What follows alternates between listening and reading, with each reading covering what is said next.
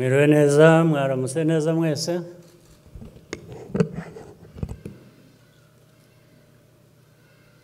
Bayobozi eh, muri hano eh, b'inzego z'igihugu cyacu. Abanyarwanda mwese batumirwa bakuriye bahagarariye ibihugu byanyu hano mu rwanda. N'imiryango mpuzamahanga Um, ubundi umwanya nk'uyu uh, biragorana. Reka wenda niba abadakurikiye ikinyarwanda abatumva ikinyarwanda bafite ababasemurira cyangwa uburyo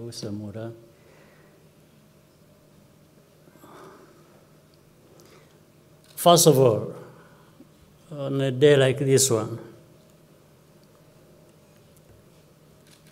the hour, the day, the week, the year,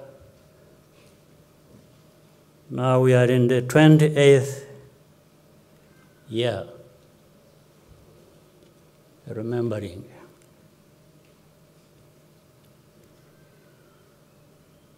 It's a moment people are speechless.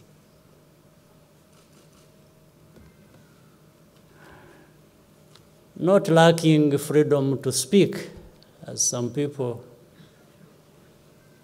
would want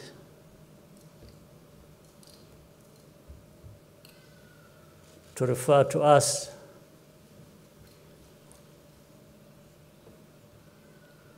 as a country that uh, we have no freedom to speak. That's rubbish. Just doesn't make sense. But the reason is also clear why people just imagine the testimony we have just heard.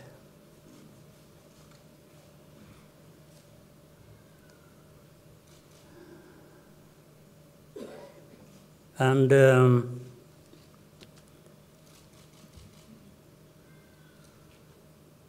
people being hunted down day and night for who they were, for who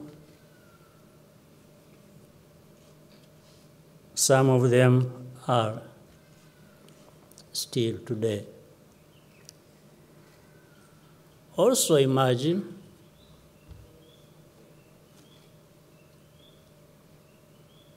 if those of us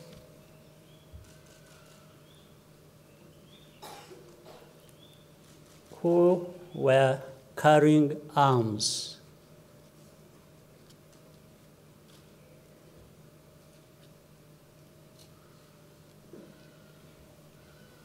if we had allowed ourselves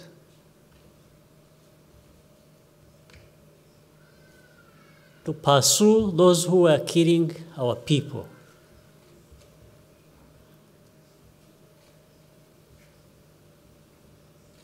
Indiscriminately, and also killed them. First of all, we would be right to do so.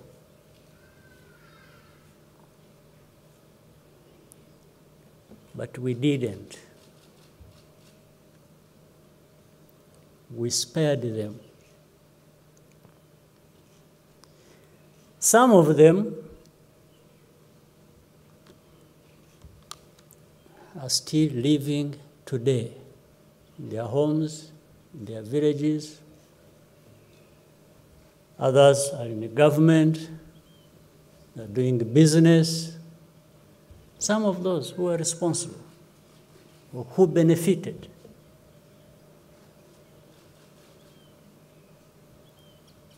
We didn't do that.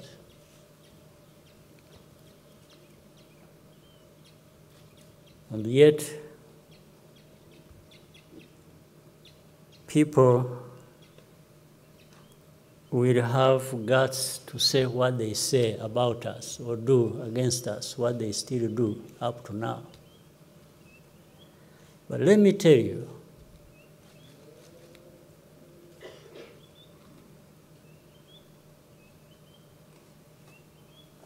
we are a small country. But we are big on justice. And some of those are big and powerful countries, but they are very small on justice.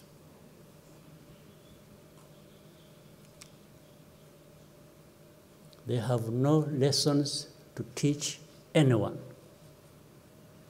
Because they are part of this history that is saw over a million of our people perish. They are the cause. And the Rwandans just executed, killed their fellow Rwandans. But the history of that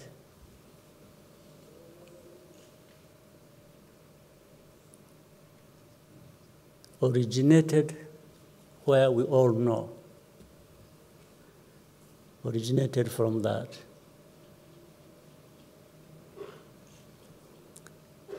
So, the very reasons that what we suffered, what we endured here, originated from there is the reason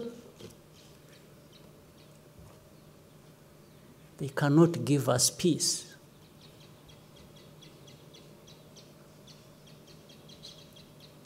They want to cover up their responsibility.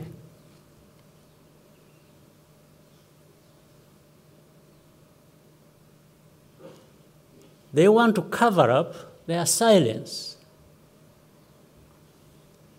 when the millions of people here in Rwanda needed them to speak out, to speak up, to come to their help. So, in the end, the story becomes that of, you know, these Rwandans, these Africans, are just killing each other. They are killing themselves. So there is no one who is right, there is no one who is wrong. We are all the same according to them. We are not the same. That's why we did not kill another one million on top of the one we lost on the hands of these criminals, some of whom are even protected, even now, by the very countries that talk about justice, that give lessons about justice. Forget about justice. Let's talk about other things. They talk about democracy. They talk about all kinds of things. As far as I know, there are three systems that govern the world. One is the so called democracy, the other is what they call autocracy. The third in between that is silent, that is powerful, is that of hypocrisy. Three systems democracy, autocracy, in between, the most powerful, very silent, effective, and that is hypocrisy. But for us, we've learned our lessons. We will carry the names anyone's, anyone is going to give us. I have no problem with that. But the lesson we have learned and the lesson of things we knew anyway from the beginning, some of us, is that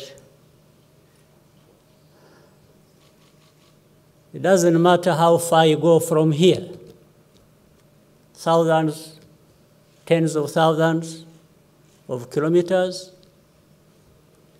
You are not going to find people that are more important or have more important lives than us, than we are.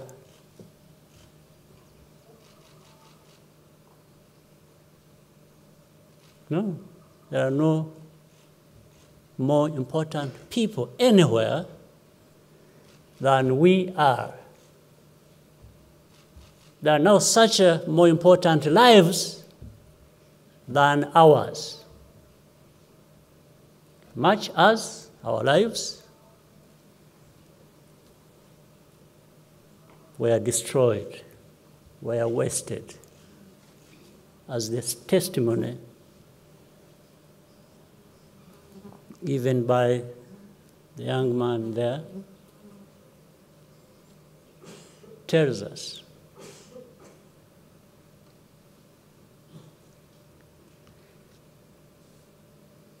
I will say all these things just even for the benefit of our young people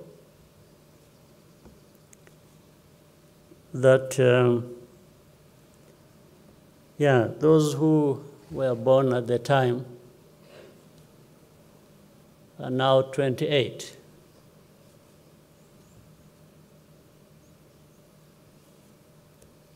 That growing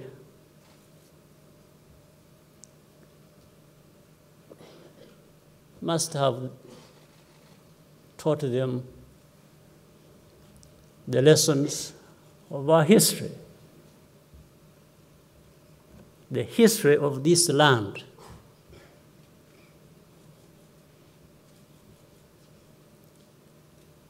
The land in which you find the very brave men and women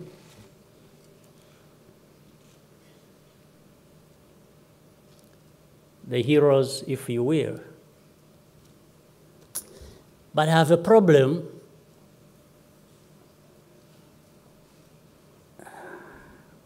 with the, the word hero and its definition. Because there is no hero in our situation like this one.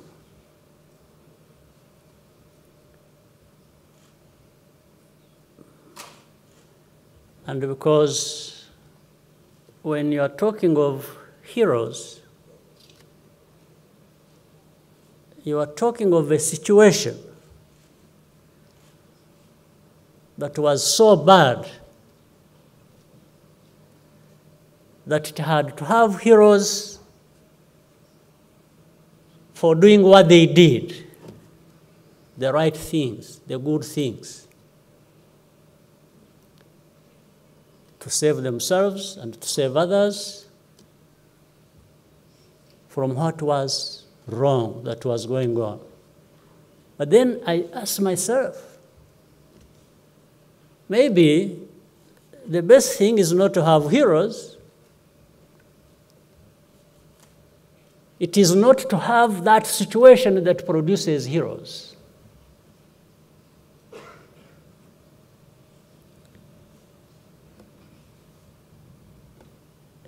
Like in our situation, how does one become a hero? And you know, you've lost one million people over.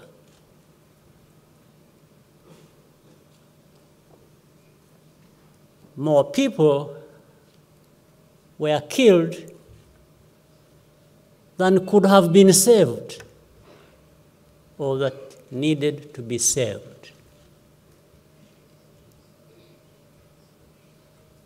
So that means being a hero, I wish we could not have it. I wish we did not have that situation that has to produce heroes. We would be better off.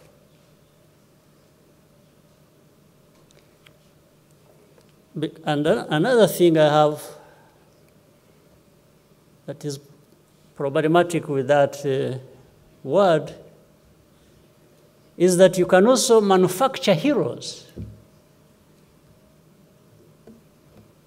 You can decide to baptize somebody a hero, especially when you are powerful.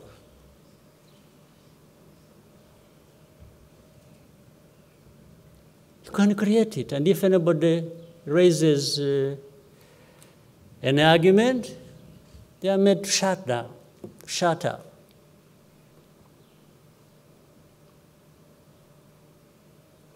That's what I meant when I said the powerful are powerful, they are big, but small on justice.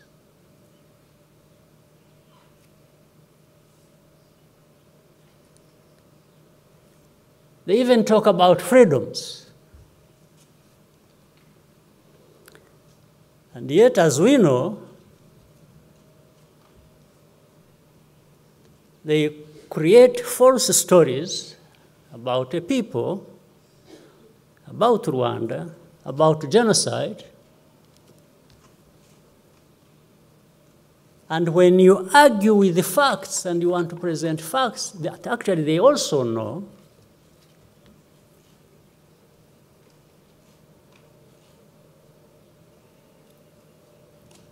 there is that power to tell everyone not to give you space to express your opinion, to answer back, to argue. And yet they are the same people who will start accusing of others, accusing others of lack of freedom to express themselves.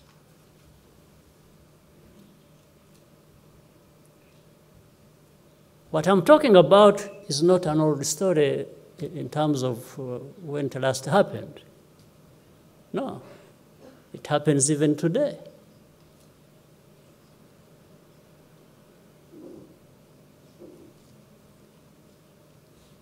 Find uh, a renowned uh, newspaper in uh, some powerful place, falsifying stories about us, about Rwandans, about the genocide, about our history. And when somebody wants to say, look, that's not correct. This is what it is. These are facts. You know, you find it's like they have agreed among themselves, all channels through which you could have communicated or placed a reply, not to listen to you because they want to have what they are playing, the only thing playing in everybody's ears.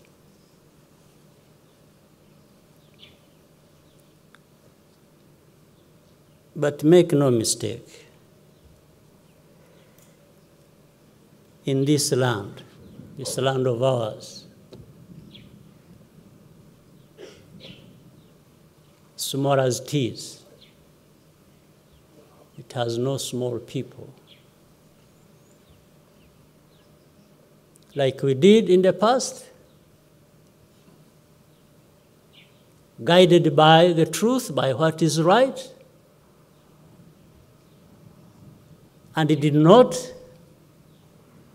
use the means we had, the possibility we had to kill those who killed our people.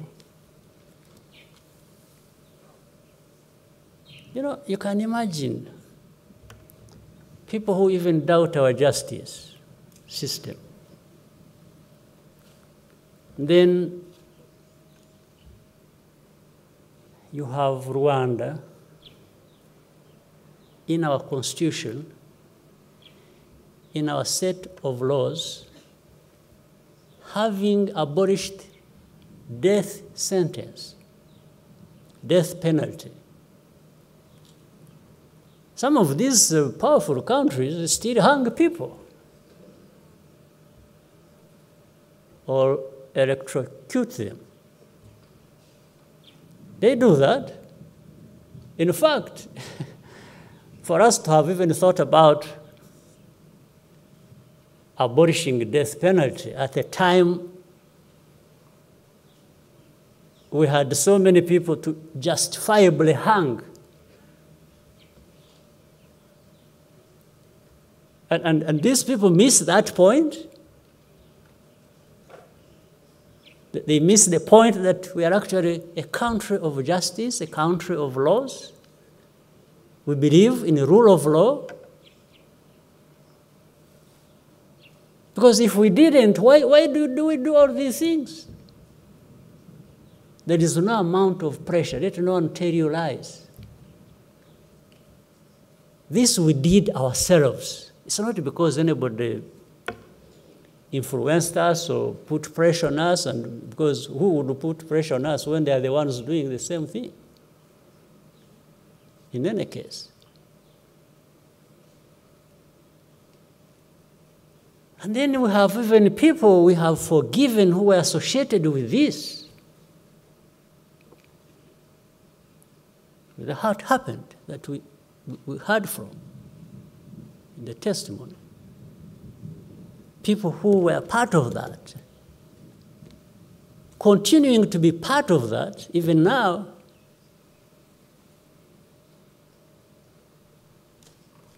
and forget that we have actually forgiven them.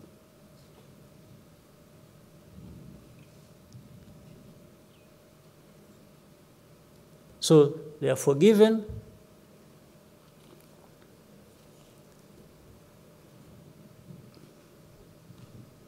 They had been tried by the courts, found guilty, so many years. In the middle of uh, serving their sentence, we forgive them.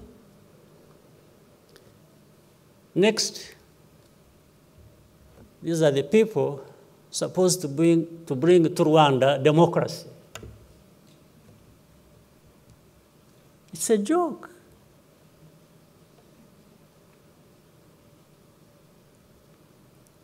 And you are doing it in a wrong place, in a place that understands many things about us, our limitations, but our power to defend and protect this land and the people of this land.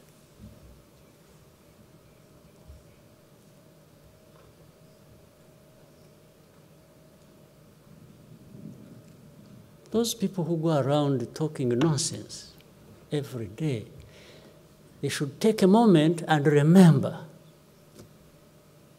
a situation like this we are talking about today. That, in actual fact, also remember that it has produced different people in this land.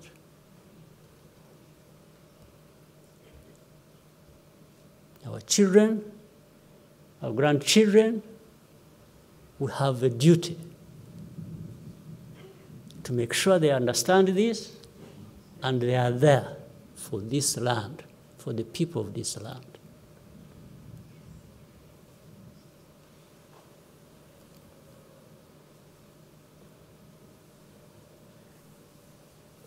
Well, but we also know many things, including our limitations. We have no power to stop it or to prevent it.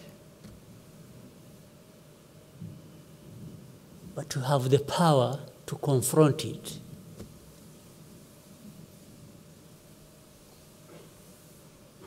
It happens every day.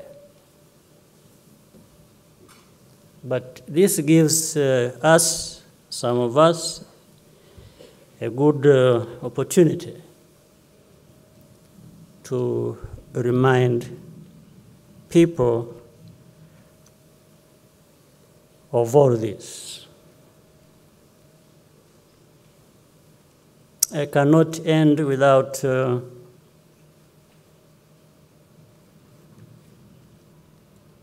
thanking leaders of our country, the citizens of our country, the young people who still find it in themselves to be normal human beings, even uh, what, given what has happened to them. Like, uh, I'm really surprised that uh, we have so many of these who still find in themselves the energy to live the way lives should be lived as normal human beings.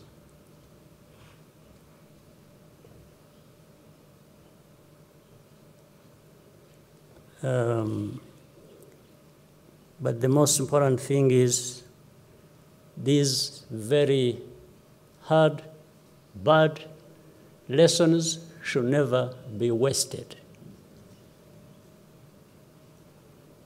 In the last 28 years,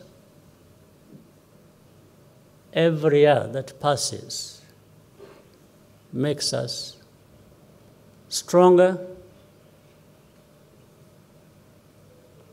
and better people. And for being who we want to be, we shall be the ones to decide, not anybody deciding for us what and how to be.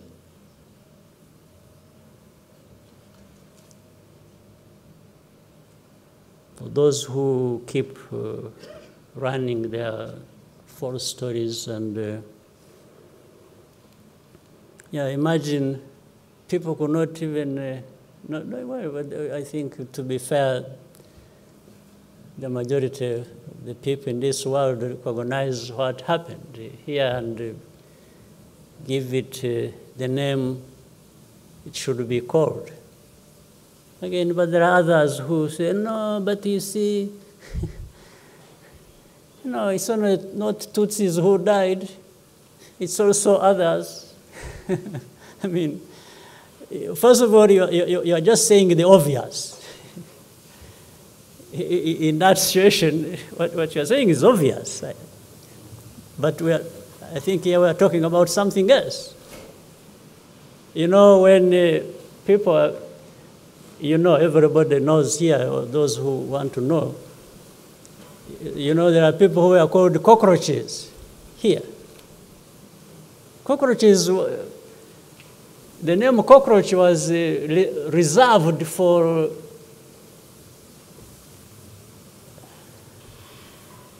a specific group of people. No. So, uh, and when they were killing, they were killing cockroaches. This is what they were saying. So they were saying it publicly.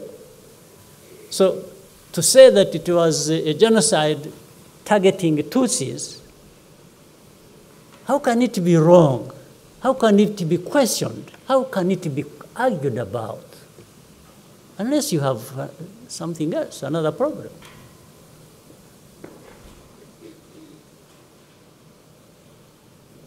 And this is now what gives room to all these other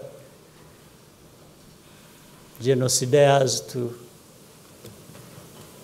to, to, to start talking about championing democracy. Their newfound uh, breed of uh, people who are democratic, who, who want to bring to Rwanda democracy, Rwanda that lacks uh, democracy and lacks freedom of speech and lacks everything uh, normal and uh, human.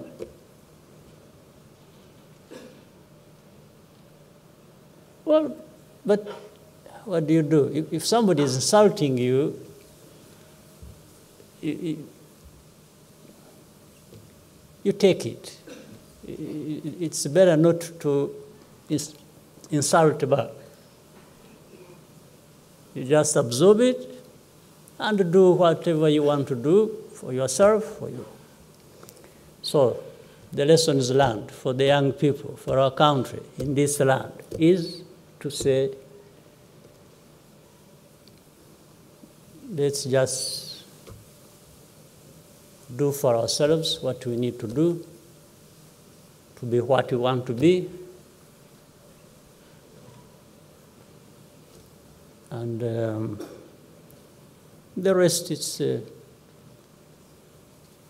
it's a struggle, it's a fight. Let's, we shall give it a good fight. Thank you very much.